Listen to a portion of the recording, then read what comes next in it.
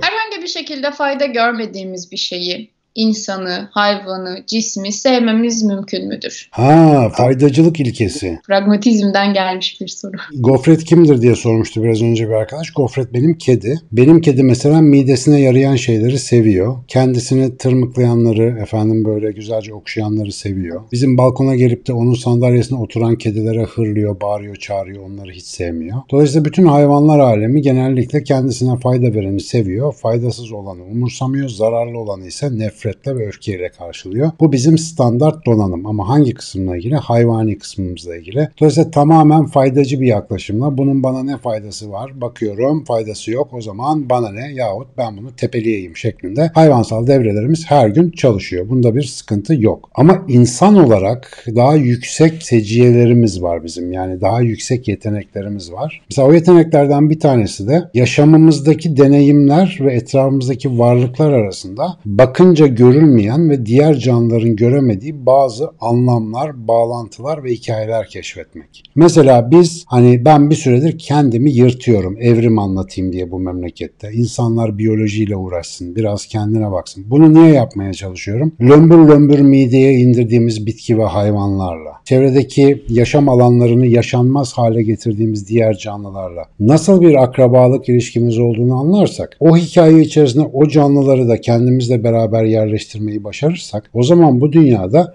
kendimiz için çok daha uygun bir yaşam stili, yaşam sistemi oturtturabiliriz diye bir umudum var. Çünkü ben bunu kendimde denedim, kendimde yerleştirmeye çalışıyorum ve bu gerçekten benim de işime yarıyor. Beni nasıl diyelim aydınlatan bir faaliyete dönüşüyor. Bu nasıl böyle bir sonuca varıyor peki? Normalde kedi, köpek, inek, zürafa belgeselde hiç belki de hayatım boyunca birebir karşılaşmayacağım kral penguenidir, ayı balığıdır, derin denizlerdeki zartürk balığıdır bir sürü bir şeyler görüyoruz. Fakat bu canlıların hepsinin ve her birinin kökende eş bir kaynaktan çıkmış ve benim vücudumla ortak birçok özellikle yaşamını sürdüren bir organizma olduğunu fark etmek, bu dünyanın adeta nefes alan büyüyen dev bir organizma olduğunu ve her birimizin onun içerisindeki küçük hücre ya da organlar gibi faaliyet gösterdiğimizi anlamak, etrafında yaşadığımız dünyaya biraz daha farklı bakmamıza sebep oluyor. Ve biz biz eğer bu bütünlüklü orkestrayı anlar isek bu dünyada başımıza gelen her şeyi, karşımıza çıkan her şeyi faydalı olsun, faydasız olsun hatta zararlı, hastalık yapıcı ve öldürücü de olsa bu bütün sistemin içerisinde değerlendirme bilgeliğine doğru bir adım atmış oluyoruz. Ve bizim kültürde laf olarak herkes bilir de söyler de işte ne kadar yapabilir tarzı bazı deyişler var. Mesela işte yaratılmışı severim yaradandan ötürü. Gerçekten de etraftakileri bu dünyadaki canlı cansız nesneleri ne kadar sevebiliyorsa bir insan hakikaten yaradanını da o kadar sevebiliyordur. Tersten bu ifade doğrudur. Çünkü birçok insan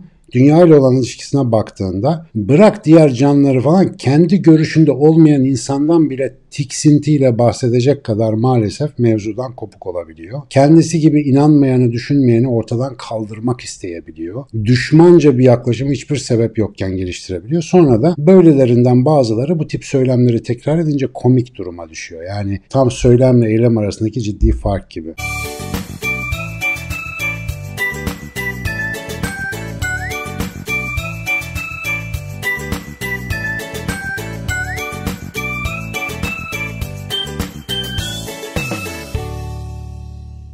Dünyada faydasız olan şeyleri ya da insana doğrudan fayda vermeyecek hatta potansiyel zarar verecek olan şeyleri sevebilmek her baba yiğidin harcı değildir. Bilgelik ister, büyük bir algı genişliği ister, basiret ister, feraset ister, yaşanmışlık ister, açık gönüllülük, açık zihinlilik ve açık beyinlilik ister. Şurada yazıyor bak. Hazal'ın hemen üstünde. Bunu sağlayabildikten sonra bir insan size kendisine zararlı bile olsa o şeyi niye sevdiğini saatlerce anlatabilir. Ben biliyorsunuz 8 aydır Covid-19 hastalığına sebep olan koronavirüs suçunu neden sevdiğimi anlatıyorum. İnsanlara nasıl güzel bir şefkat tokatıyla böyle haha ayılmaya vesile olabileceğini paylaşmaya çalışıyorum. Evet hasta oluyoruz. Evet bak mutasyon geçirmiş bu aralar haberlerde dönüyor. Bulaşıcılığı belki %70 artmış. Tekrar bir alarm durumları oldu. İngiltere'ler kapandı bir şeyler oldu falan filan ama bunların hepsi ve hepsi bize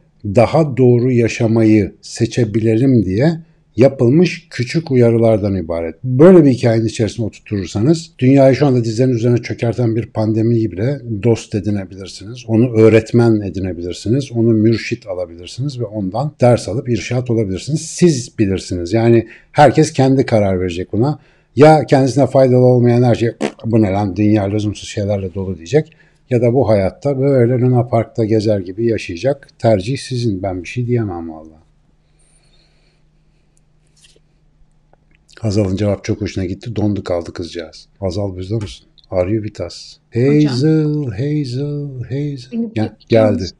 Bu konuda izninizle ben de bir şey eklemek isterim. Lütfen tabii ki. Ee, ihtiyacımız olmayan şeyi sevebilmek dışında sevebilme eylemi bir kapasitedir. Sevme kapasitesinden bahsedebiliriz. Sevme kapasitesi psikolojik sağlamlık göstergesi olarak da adlandırılabilir. Çünkü bir şeyi sevebildiğimiz, bu kendimiz dahil, sevebildiğimiz sürece psikolojik olarak sağlamlığımızı işaret eder. Bunun tabii ki nesne işte object relations dediğimiz işte nesne ilişkileri, bağlanma stilleri bunların hepsi üzerine teoriler var açıklayabiliriz. Romantik ilişkilerdeki sevme kapasitesi üzerinden çeşitli açıklamalar yapabiliriz. İlginç bir şekilde sevme kapasitesine bağlı olarak geliştirilen patolojileri bile görebiliriz. Hani her şey sevgidir diyoruz ya. Sevgi bize her şeyi gösterebilecek birçok psikolojik faktörün nereden kaynaklandığını veya nereye gittiğini ifade edebilecek en güzel yol. Bunun en başında gerçekten kendimizi sevebilme kapasitesiyle, kendimizi sevebildikçe başkalarını sevebilme ve başkalarını sevebildikçe var olanı var olduğu için sevebilme haline gelecek.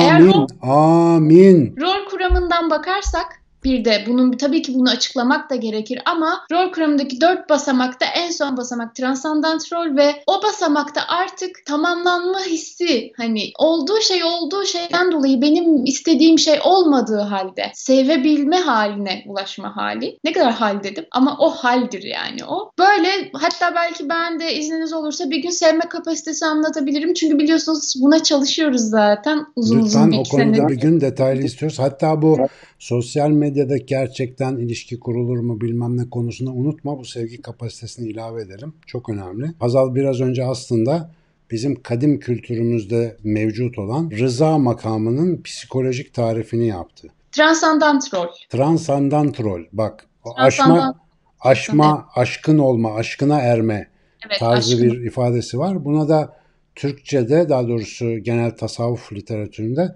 rıza hali deniyor. İşte ona oradaki insanların rıdvan cenneti diye bir şeyle ödüllendirildiğinden bahsediyor. Herkes cennetin üst katında loft falan zannediyor onu ama rıdvan rızadan gelir arkadaşlar. Bu dünyada razı olan insan cennette yaşar demektir o.